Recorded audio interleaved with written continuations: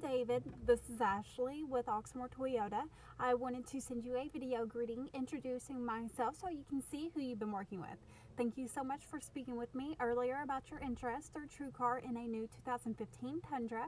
I went ahead and sent you an email with information to the ones that we currently have.